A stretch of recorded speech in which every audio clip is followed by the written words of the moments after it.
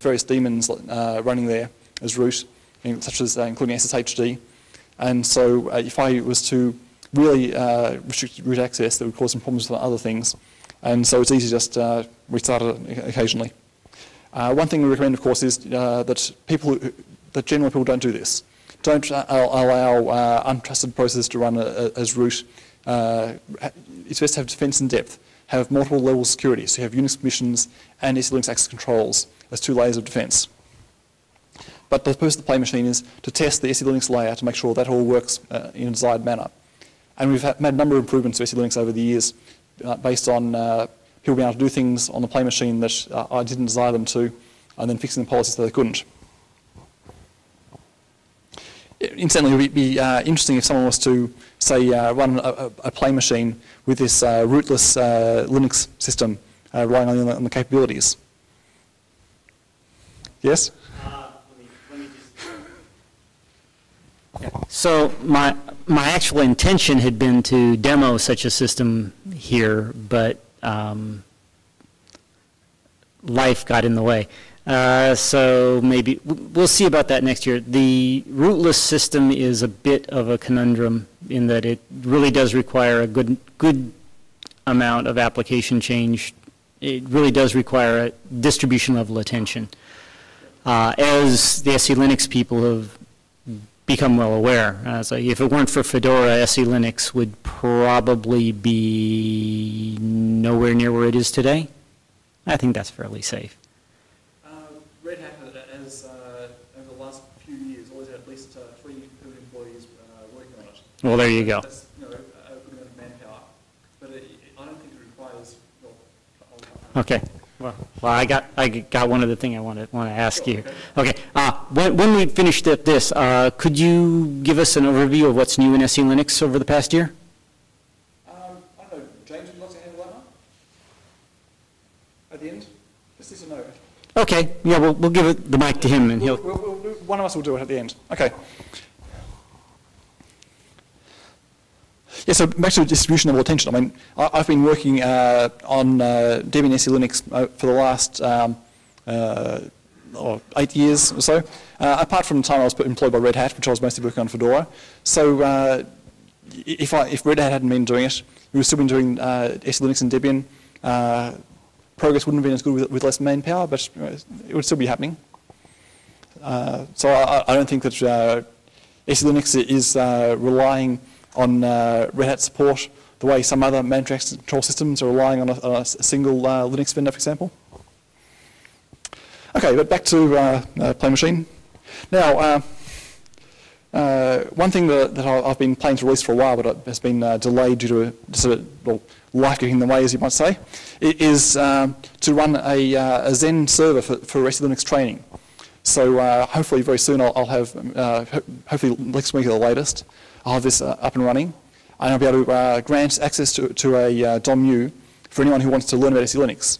So grant someone access for a day or two, and they can then uh, uh, start off with a machine running a, a DOM-U running Debian without SELinux. They can enable SELinux, configure it, and run through a, a, a set uh, training schedule. complete a number of tasks to learn about different things. And at the end of that, know um, how to perform all the basic tasks of, of SELinux administration and operation. It's a, training thing I've run many times in the past uh, in an in-person uh, uh, basis. So I've had you know, labs full of computers and have people each sitting around the computer that I've installed. But I want to do it over the net via Xen so that anyone anywhere in the world can do it. And of course, the next step after that is to then make the original image available for download, and so that anyone in the world can uh, download it and not have to wait in a queue for the, uh, say, four or five different DOM-Us that I have available.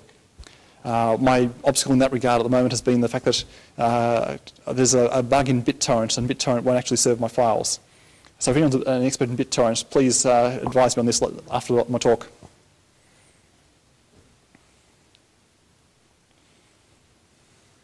Now, after Lenny, um, I, I, gave a talk yesterday about uh, Kai uh, Kohei's uh, great work in uh, adding SELinux access controls to the PostgreSQL database. So one thing I, want to do is to get this in, in Debian uh, as soon as possible, basically. So obviously uh, that's not going to go into to, to uh, uh, Lenny main release, But uh, uh, so I, plan to uh, build my own package for learning my own repository with this Linux support, and which will also probably involve putting some policy in there as well. I think the policy we've currently got in Lenny uh, doesn't have the, the PostgreSQL support that we need. but That's a, a minor thing. And then the issue is how to support for Lenny plus one. So I'll initially have my own repository for this. Hopefully we'll be able to get the changes included in the main PostgreSQL package and uh, available for everyone to use. But that will be a bit more work, uh, so in a couple of years' time we'll uh, have results for that. And uh, another uh, thing that uh, I'm hoping for, for, the next version of Debian is the X access controls, also known as Security Enhanced X. one problem that is often not addressed in terms of, of X controls is X windows. Uh, if you have two windows on the same desktop, they can interfere with each other in uh, many different ways. And uh, in most cases, uh, X control systems do nothing about this. Uh, with, uh, we have very little in the way of support for restricting access at all to, to, X systems. To do this properly, we need to have controls on, on all window messages that are being sent. So you can't send a, a message to, a, to, another window in an appropriate manner. And also the clipboard manager needs to, to be aware of SE Linux and support uh, labeling of clipboard data. So if you, uh, have a clipboard manager with a dozen different uh, objects in it, only the, the uh, objects that are uh, appropriate for a, a, program can be sent to it. And of course also I think we would need, need to have support for relabeling. So in situations where the user can relabel data, they should be able to relabel data in the clipboard and uh, then paste it in. And this will prevent attacks such as, um, well, the common problem you'll see if you're on IRC. Someone just uh, suddenly, for no apparent reason, types in eight semi-random characters on a single line in their, their IRC session. And you just know they were trying to paste a password and they clicked the wrong window and paste into IRC instead of their uh, uh, terminal session. You don't know what the password was to, but you know it's something that they have access to. And if you know them well enough to know what machines they're logging to, you probably guess uh, where to use it. So the idea is that when they do a copy and paste password thing, which isn't entirely unreasonable, uh, then uh, they can only paste it into a session that has the, the right uh, label not a session with uh, dealing with untrusted hostile data such as an IRC client. Of course, another thing is um, IRC clients themselves have had a, a long and poor security history. Um, it seems that every IRC client will have regular security problems, and uh, it would be good if you had an X Windows-based IRC client that has all the nice features of uh, colorizing text, having multiple windows, etc., but which couldn't own you entirely if it got broken or when it gets broken.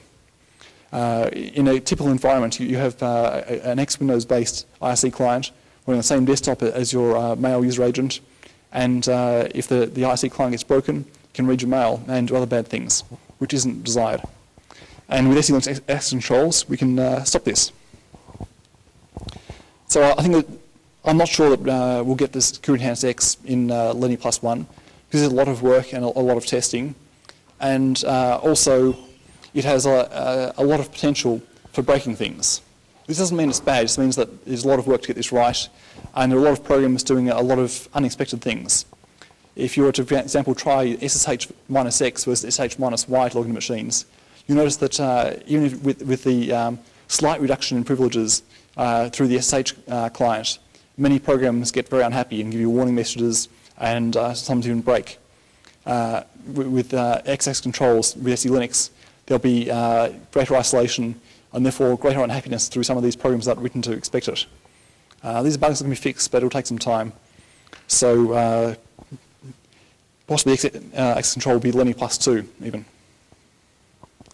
Okay, I, I, think I've covered most of the, the status of SE Linux in Lenny and Lenny plus 1. Uh, I'll take some questions and then mention other things uh, slightly related. So questions right now? No questions at all? Yes?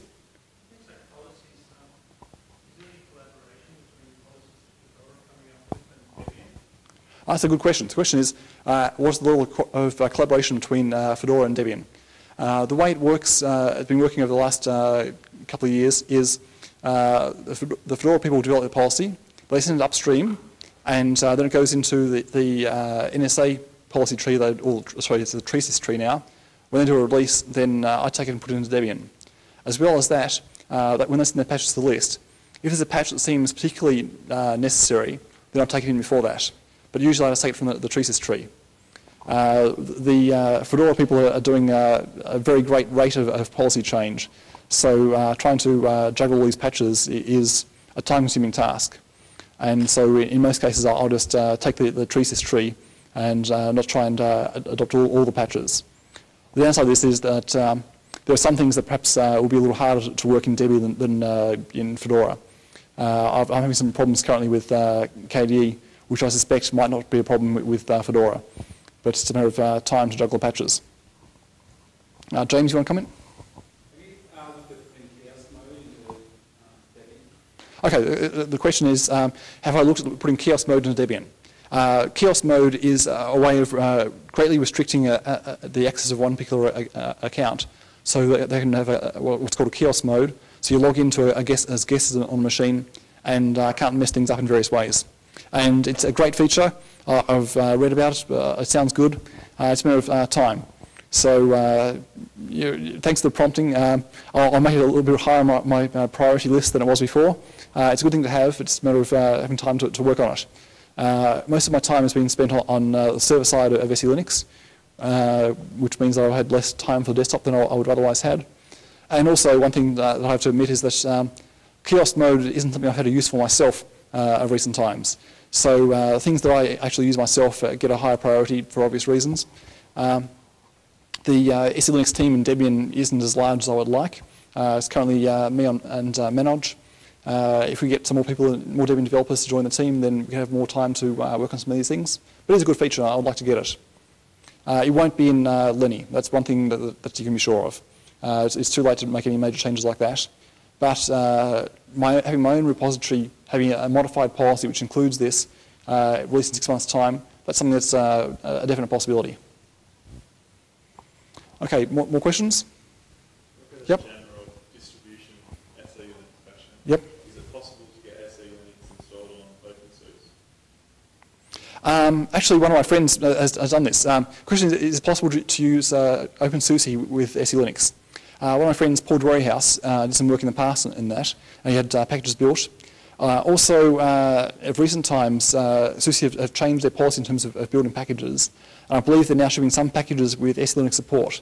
This doesn't mean you, you can just use SUSE and, and, enable it, but it means that if you use SUSE and you want to get some extra packages then from somewhere else, uh, the number of packages you have to change is much greatly reduced. So instead of changing, uh, you know, eight packages to change four or something.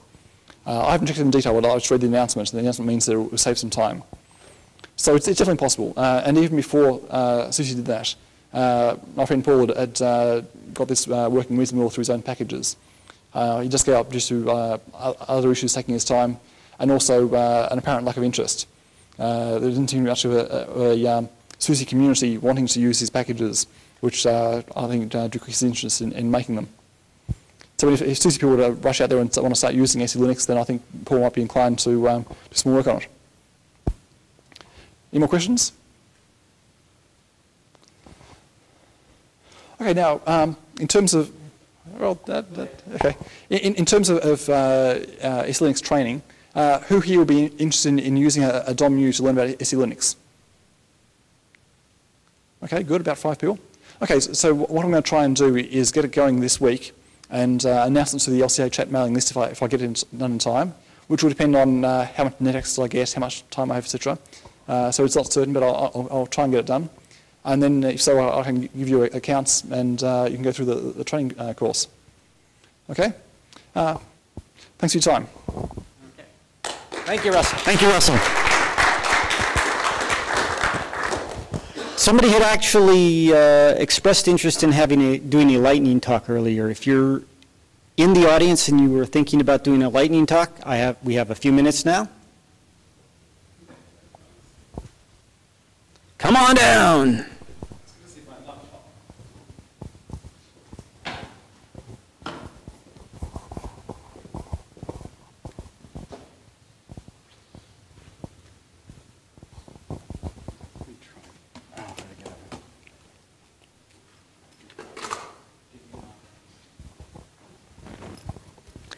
You're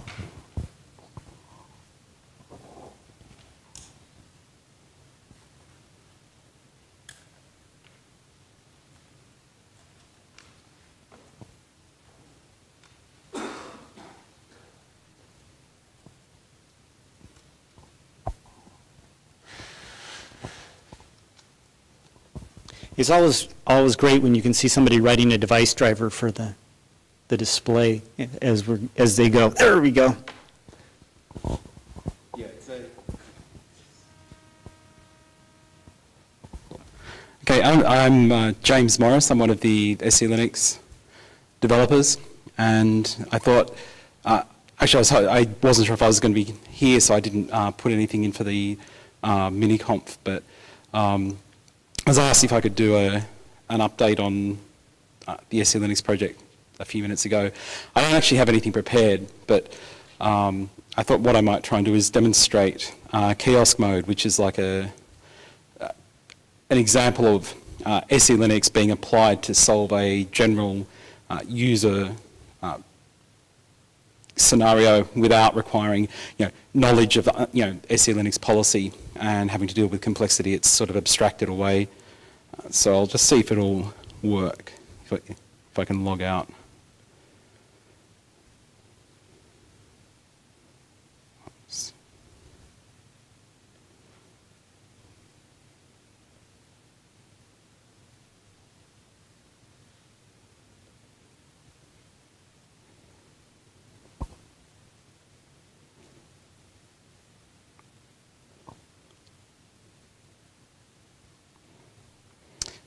Okay, so uh, this is Fedora 10, and this is a, a, feature that's been here in Fedora since about Fedora 8 and shipping uh, available uh, since Fedora 9 as a, as a new install. Uh, so uh, this system has got SE Linux running and uh, enforcing mode, and what we have is an account called guest, which has no password, and you, it just logs you in. And this is this kiosk mode that I've mentioned. So what it is, is basically an anonymous uh, desktop session, and that's why there's no password. And I'll just have to plug in a mouse.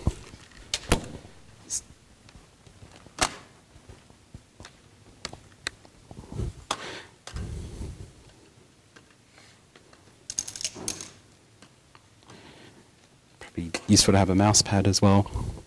Okay, so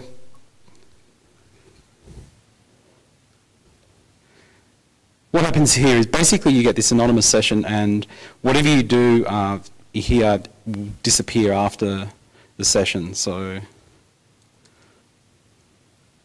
can create notes.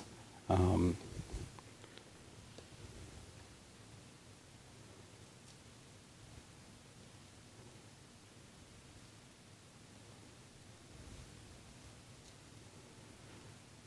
So this would be useful uh, in a a library or anywhere that you have um, yeah, need to give access to people, uh, trade shows, email gardens, uh, product demonstrations and so on.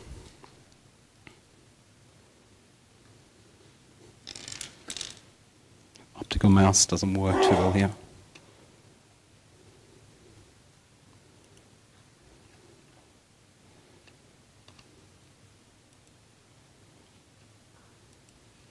So you can see uh, if someone's, basically I'm simulating someone coming in and vandalizing uh, the system.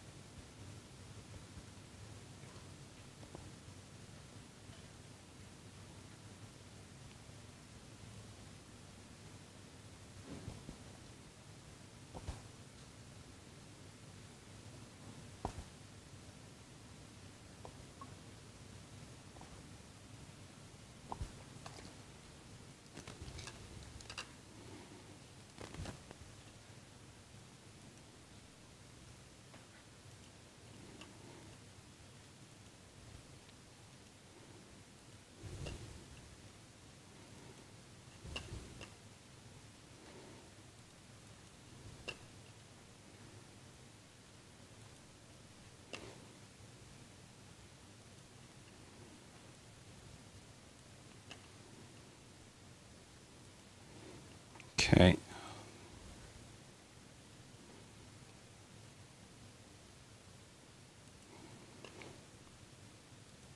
Another interesting thing here is that uh, this user can only see its own processes.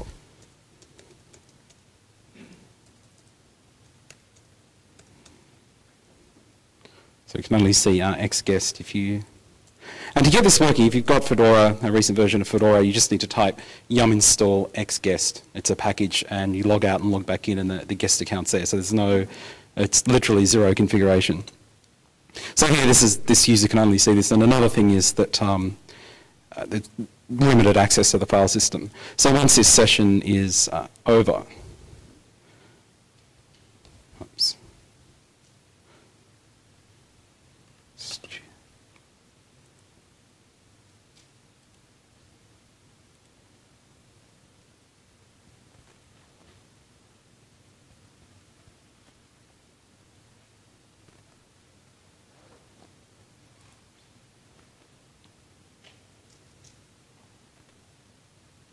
So this is uh, logging back in and yeah, as you can see, basically the desktop is back to where it was. And there's no, there's no notes there. Um,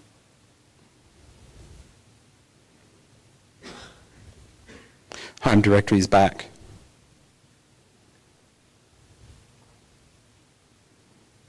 And you can see these uh, bookmarks are back again probably try and get the internet up. Okay, so what's going on with this is uh, this is uh, basically a combination of uh, different technologies that are available in uh, both Linux and also with uh, SE Linux. And these have been combined in a way that uh, weren't necessarily envisaged when these features were first put in. So one of the first things to notice here is that this user session, this guest user session, the reason that everything came back was because uh, it's using something called uh, Linux namespaces to set up the home directory uh, for the user. So this is an idea, namespaces, file system namespaces are an idea that came from uh, Plan 9 and they were integrated into Linux I think in like 2001 by Al Viro who's a, a big Plan 9 fan and weren't really used that much until um, the certification effort for SE Linux to get SE Linux certifiable for use with classified information.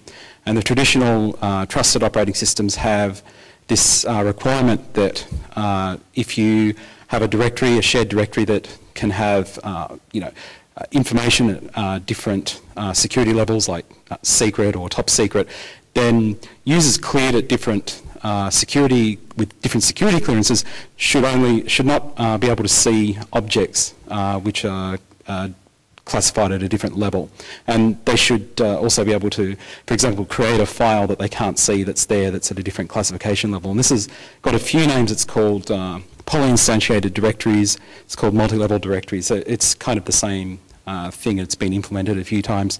So this is a problem because uh, Linux didn't have this kind of thing available in the kernel. And Linux is not a really good place to go hacking these kinds of things in, unlike proprietary uh, operating systems where uh, they, they were able to get away with a lot of things.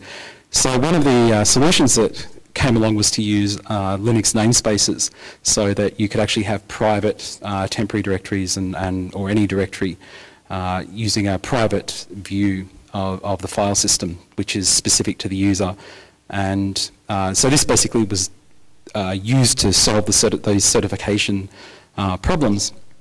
And it turned out that this is also useful generally for the general users where you have a lot of classic um, vulnerabilities come from um, you know, temp races and various things. Well, if you use uh, Linux namespaces, then everyone gets their own uh, temporary directory.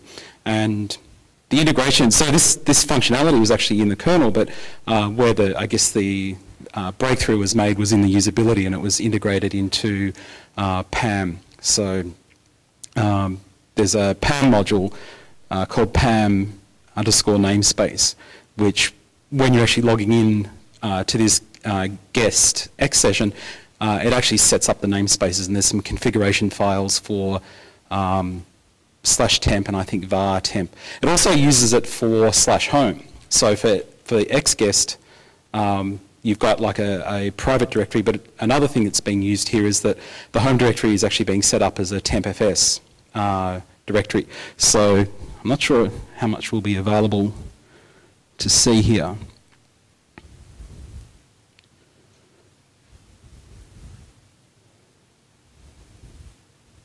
Keep moving things around in the menus with every Fedora release. It's, it's great.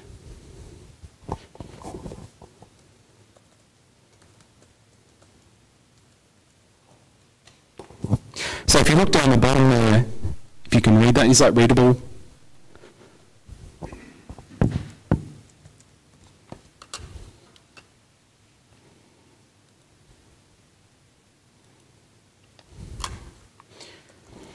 See down the, uh, the bottom the, the mounts, uh, you can see that um, temp, the var temp and uh, home xguest are tmpfs. So this is just a RAM-based file system uh, which is only visible to the logged in user. So if you actually uh, go in and, and to a console, console or come in through SSH into the system, even root won't be able to see uh, these, these directories.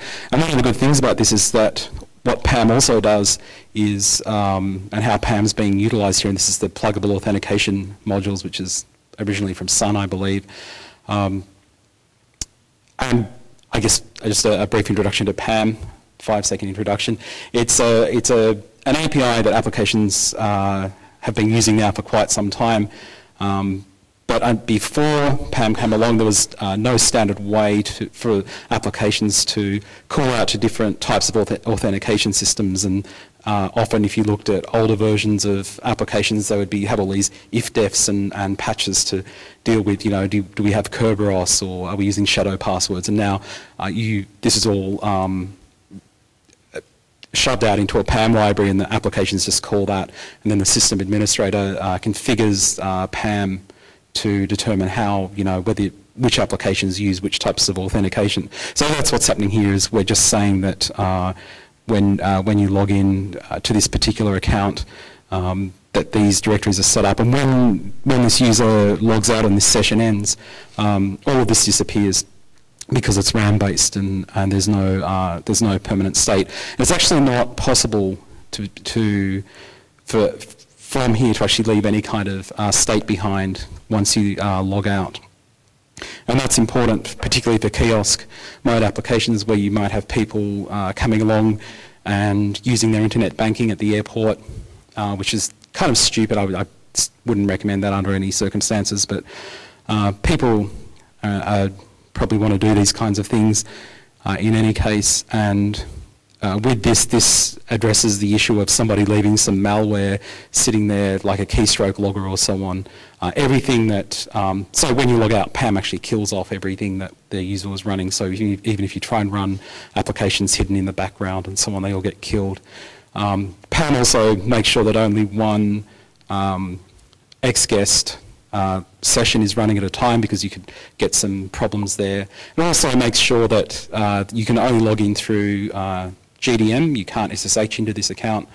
Um, and what's also happening here, which is a, a little bit unusual uh, and a different way of thinking about mandatory access control, it's actually protecting um, the system from the user. So normally what you're trying to achieve with security, particularly on the internet, is that you're looking at the system being protected from uh, external threats, uh, which is how SE Linux was initially um, configured in Fedora, and that's, it still is, and that's a, a, useful goal. But this is an example of protecting the system from the user. You're, you're assuming a potentially hostile user uh, on the system.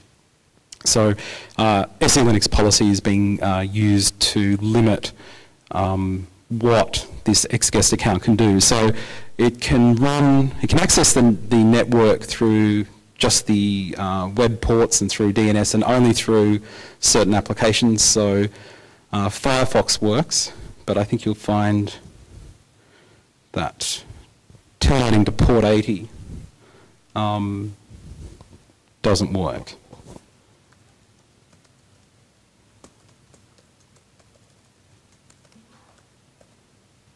Okay, so this is uh, part, just part of the way SE Linux works, that it can actually bind um, users to specific applications.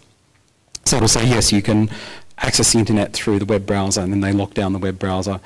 And uh, it also, at another level, enforces what that application can do. So there's this, um, I guess, this three-way binding. Uh, so I guess this is a, an example of a high-level abstraction. You don't, administrators don't need to know anything about uh, SE Linux or even any, don't need specialized security knowledge at all. Uh, you just install it and run it. And this is part of how SE Linux was envisaged, that after like all the initial uh, work going into the integration into the system, that we'd be developing these kinds of high-level applications. And on Friday, I'm giving a, a talk on uh, how we're doing something similar with virtualization, trying to have a, basically a, a, zero or low, low configuration, simple uh, application of, of, mandatory access control to uh, virtualization. So there is, it is possible to do some configuration at a high level with some uh, high level tools, which I'll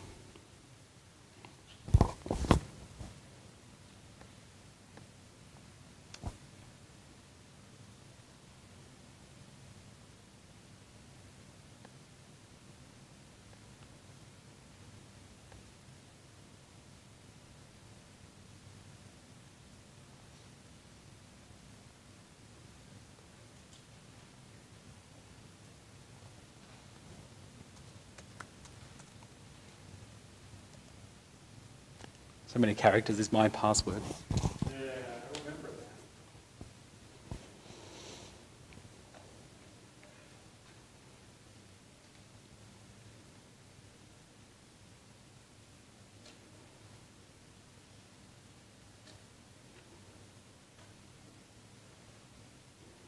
So there are some high-level uh, SE Linux management tools. And uh, this is a bit of also an update on some of the things that have been going on in SE Linux in the last year or so. Um, there's been a lot of work going into these kinds of uh, high-level tools for, for managing different things. And this is the um, SE Linux administration tool. And actually, the, I gave a talk at OLS uh, about six months ago and did an up, update on the project, um, the overall project, which is basically current as of six months ago. So if you Google for have you driven an SE Linux lately, you'll get a PDF, a paper, quite a lengthy uh, full paper on, on everything that's basically happened in the project and all of the, the current work and, and uh, these kinds of things are explained in, in detail, um, what's going on here uh, underneath. Uh, so this is your basically administration console and these are the on the front page of the the high level uh, aspects of the system as to whether it's uh, in enforcing mode and um, what type of policy you have running. Um, and these are the, so what, what happens um, is that people often want to try and do different things uh, with uh, their system and the model with SE Linux is that the policy generally supplied with the system. But often you'll find that there are patterns to different things that people want to do, such as if you're running an FTP server, whether you want to allow uh, anonymous only access to a specific directory or whether you want to allow people to access their home directories through FTP. And this is, uh, this, these kinds of patterns are sort of recognised by the SE Linux developers after a while and they um, have developed a, a, mechanism called booleans where you can just switch this type of coarse high-level behaviour on or off.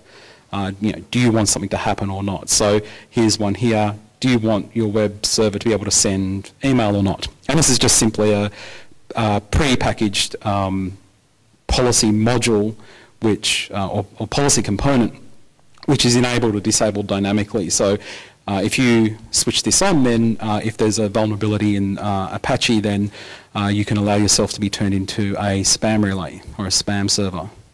So this is the kind of thing that we probably want to have disabled by default, but still allow uh, users, because there are lots of legitimate uh, uses for, for web servers sending email, like you know forms and and all kinds of things. So this is the kind of uh, abstraction that we hope that most uh, admins uh, deal with.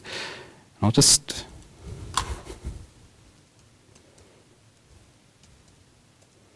So there's several relating to uh, XGuest And for example, there's, a, there's one here, um, allow XGuest exec content. And unfortunately, these aren't documented particularly well, and most people don't even know this stuff exists, and then if you did find it, it's like, what does it do? So documentation is a problem. We've actually got a, a, a full-time document writer now on the SE Linux project for the first time in six years or seven years, so we're rapidly sort of catching up here. But this is a, a thing where uh, most of the time you wouldn't want to allow an XGuest kiosk mode user to um, compile and execute code that they, let's say, you know, you can go into their, they can go into their temp directory and uh, edit a, a C file and, and, write some code. You usually don't want that to happen. And we found there was an, an interesting example where somebody was running um, OpenOffice from the kiosk mode account and was getting uh, these SE Linux alerts popping up, which is another another thing I don't think any have popped up. But if uh, now when you get a, a, policy violation under Fedora, a little box will pop up and you can click on it, gives you lots of information, you can submit bug reports. It, it even sometimes tries to tell you how to solve the problem and it's sometimes correct. Um, but that's helped in terms of giving users sort of visibility into what's going on um, instead of being a sort of black box that's just stopping things and not even knowing that it's stopping it. At least you now know, oh, that was SE Linux and uh, here's maybe a way to fix it. So what happened was this person was using uh, XGuest and they were using OpenOffice and they got this um, error message came up when they downloaded a spreadsheet, I think it was, saying um, this, you know, this, this operation was denied. And so after looking through the logs that uh, were, were, generated by this SE alert facility, it uh, was determined that what was happening was that OpenOffice was actually compiling C code. There was a macro, and I think what, I don't know exactly what it was doing, but it looked like it was compiling C code in the temporary directory, then executing it and feeding the results back in through the spreadsheet. So, well, well, this is a bit unexpected. And so I said, oh, that's really good. You know, SE Linux just, just did what it's supposed to be doing. And then the uh, person wrote back and said, no, I actually want this to work. I, this, I, this is a feature I want. So as usual, you, you can never sort of predict what people actually want. And, and so there's, there's a boolean here which you can flip that, and if you do that, you could, you could go back in and show that it was now allowing you to execute. And also, um, there, there's other things. Um, there's a, you know, the ability to use Network Manager. Basically, that means can you click on the Network Manager icon and get onto the network, yes or no. Um, removable devices, uh, this can be a problem. One of the things with um, that XGuest session, there was a way actually to to subvert the next session there, which is to leave a um, a thumb drive, a USB drive stuck in there with something on there that um, is is unpleasant. And if the next user comes along, they might be able to mount that and double click on it and do some damage to themselves. Uh, so that you know, removable media and, and, and so on is, is definitely something that uh, is a vector for, for malware and that can be controlled at this level. Uh, so there's there's quite a lot there, and there's um, there's even a, a, wizard in here to create new policy, which yep, it's working. So there's a, like a guided um, interface here, and this this again is something that's been developed in the last year or so as, as a new uh, Linux development. Now, when, when I first started looking at this, only the applications uh, section was um, there. And since then, we've now got uh, login users and root users. This is a, an extension of XGuest to a more general um, management of different types of users. So uh, there's also like a, a console-based guest account which uh, only allows text logins um, at a console. Very similar to XGuest, it's just uh, doesn't allow uh, login through the X system. you might think, well, what? how could this be useful? And I've been to um, you know companies that are still using uh, terminal-based applications, and they will actually using Telnet um, back to um, back to mainframe systems, and they'll have you know order placing systems. So someone rings up, does a, a phone order over the phone, and the, the person is actually sitting there a, in a telnet session. So this kind of thing, having um, confining those users to only be able to do those things on, on the system could potentially be useful. And then also what's uh, useful, what's interesting over here, um, for sort of more advanced users is having um, limited admin users. So you can actually start defining um, administrative administrative users who can do actually I don't actually know how this works. I haven't used it before. Uh, but the idea, I've, I've read about this, I haven't actually tried it, but the idea is that you can uh, set up a, um, a root user, UID 0, that actually uses SE Linux to clamp down on, on what it can do. It's sort of a, a bit like, um, a little bit like capabilities with a, with a root user. Um, so it may be that uh, this user can uh, just manage um, storage for example, and, and there's a there's a wizard that is used to to help you develop that. And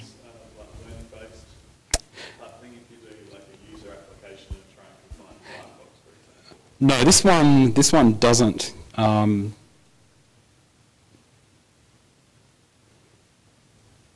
this one doesn't. It uses it's a it's like a expert system, like a guided. Um, interface. I'll just, I'll just set one up.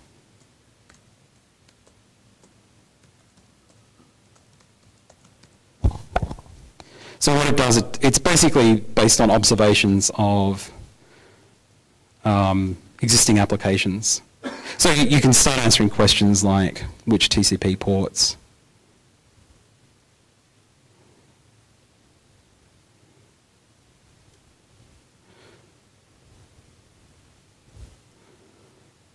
So here you can see these uh, types of questions being asked. These are, these are common application traits. This is dbus, sends email. I mean, I don't know what, what application doesn't send email. It's not very good if it doesn't.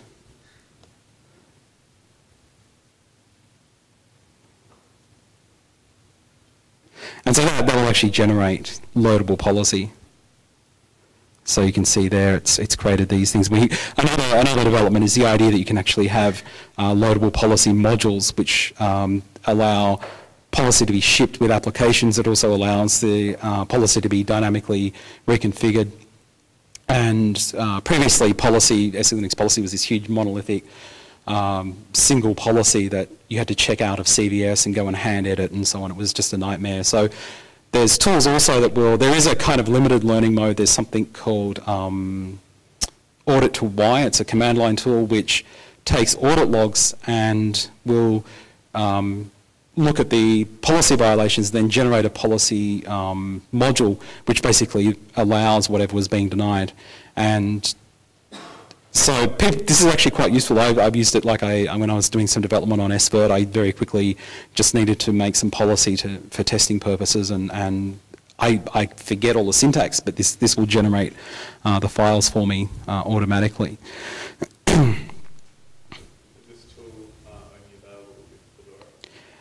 as, as far as I know, um, I think there's been some work going on in Ubuntu and OpenSUSE, but I don't know to what extent they've got these tools. But um, yeah, there's also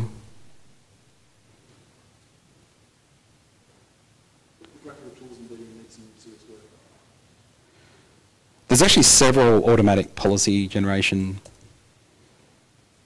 systems. Um, there's also a project by uh, some Japanese developers called SEEdit, um, which is a project you could search for uh, S-E-E-D-I-T, and its aim is basically to bring a kind of AppArmor configuration to SE Linux, and they have a, like a, um, a higher level language which you develop in and then it compiles down, and it it's a trade-off. It, it, it, you lose some of the flexibility, but it, you gain some usability.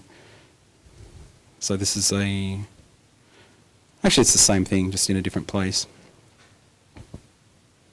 Okay, so I hope that was useful. Um, Thank you.